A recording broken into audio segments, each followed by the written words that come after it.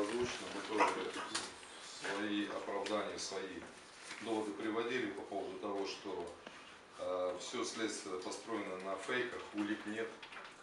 Э, суд не всегда, к сожалению, слышал наши доводы по поводу выезда за границу, загранпаспорта и всего остального. Загранпаспорт отсутствует. В Таджикистане проживал как, э, был как э, сын офицерской семьи.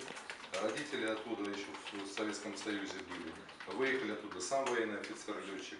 Выехали оттуда сюда, там была война. Никаких, э, никакой недвижимости за рубежом нет, отсутствует и никогда не было. Никаких попыток даже и смысла в этом не было. Уже заявлял суду о том, что сами заинтересованы, чтобы вот этих фейков не было. Рано или поздно кто-то за это отвечать все равно будет.